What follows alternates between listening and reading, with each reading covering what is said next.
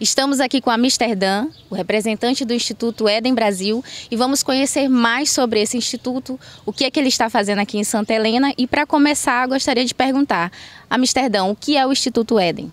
Bem, boa, bom dia, né? boa tarde a todos que estão nos acompanhando. É, o Instituto Eden é um, um braço né, da ONG internacional chamada Eden Project, que fica nos Estados Unidos e que atua em mais de oito países no mundo. Né? Aqui no Brasil nós estamos em operação há mais ou menos um ano, para ser mais exato.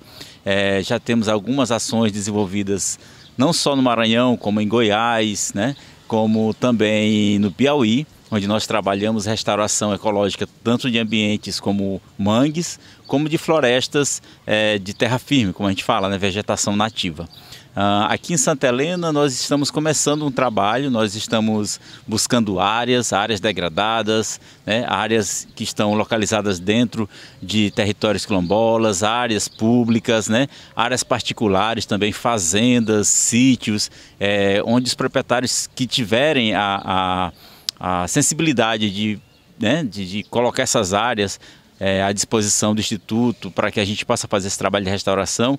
É, a gente está aqui à, é, à, disposição, né? o Instituto está à disposição para receber todos esses contatos para que a gente possa iniciar um trabalho de restauração em larga escala em Santa Helena.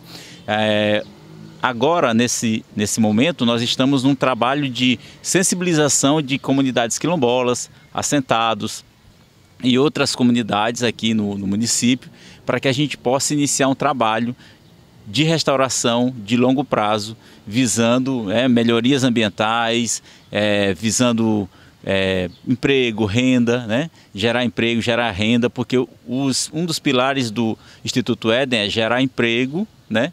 e fazer restauração ambiental. Tanto é que nosso lema é plante árvores, salve vidas.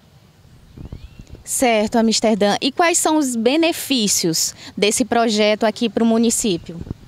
Os benefícios do projeto são benefícios não só ambientais, como também econômicos. Uma vez que a gente gera emprego e renda para o município, a gente também faz com que a economia do município é, se dinamize.